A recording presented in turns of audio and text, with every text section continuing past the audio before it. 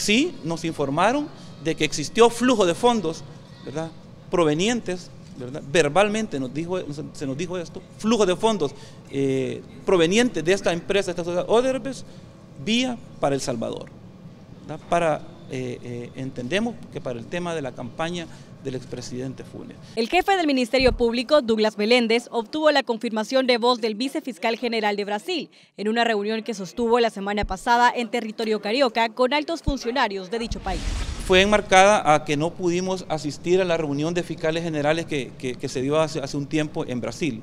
Entonces teníamos pendiente esa visita, creo que ese mismo día también eh, eh, llegaron otros países, incluyendo Panamá. Además dijo que de parte de la institución que dirige buscará robustecer la investigación en territorio salvadoreño. Hemos solicitado una asistencia a Brasil pidiendo varias diligencias, pidiendo documentación y pidiendo pruebas. Dijo que la información de la Fiscalía brasileña se basa en declaraciones de testigos criteriados. Por el momento no precisó el monto que habría recibido el exmandatario para financiar su campaña presidencial de la empresa Odebrecht. ¿Le confirmaron monto, fiscal? No, en este momento montos no nos han confirmado. Sí nos hablan que son algunos millones. El caso Odebrecht es una investigación del Departamento de Justicia de los Estados Unidos, publicada en diciembre de 2016, sobre la constructora brasileña, en la que se detalla que la misma habría realizado sobornos a funcionarios públicos de al menos 12 países. Ese es un tema.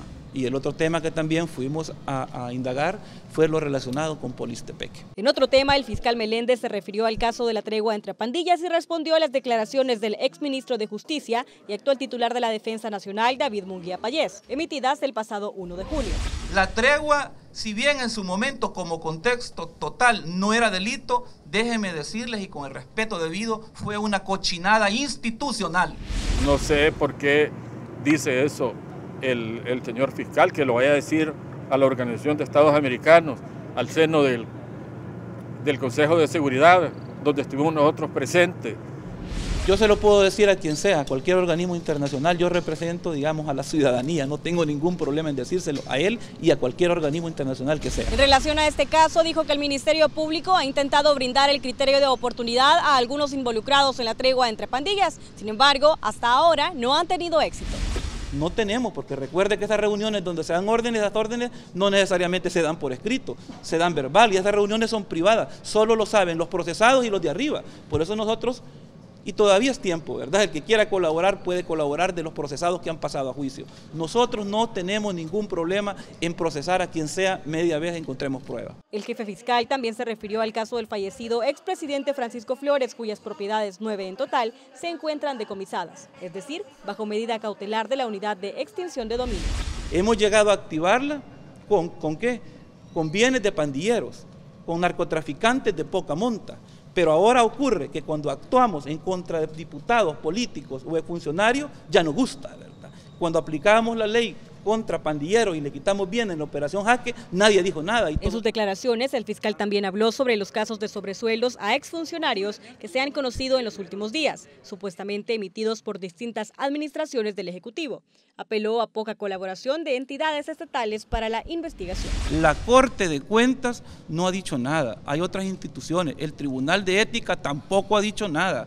Es decir, hay instituciones que siento que miran por el hombro izquierdo o el hombro derecho y no dicen y no asume responsabilidades. También dijo que la Corte de Cuentas de la República está bajo la mira de la Fiscalía por dejar en el olvido varios casos con indicios de irregularidades en el manejo de los fondos públicos. Lo que nosotros eh, eh, hemos... Eh, o información que tenemos es que esta ha sido como una práctica en la Corte de Cuentas, ¿verdad? Ha sido una práctica este hecho de, dejar caducar, casos o, de tratar de cuadrar las auditorías. En otro tema, el fiscal Meléndez confirmó la existencia de planes para atentar contra policías y sus allegados. Nosotros sí tenemos información en general de las pandillas. En las últimas semanas y hace eh, información de inteligencia de atentar eh, por parte de las pandillas en contra de policías, soldados y, y gente allegada. Y se la pasamos, ya se la pasamos esa información en los últimos días, la semana, si no me equivoco, la semana pasada, le pasamos la información a la policía. Las declaraciones del fiscal general de la República se conocieron durante el desarrollo del foro Great Talks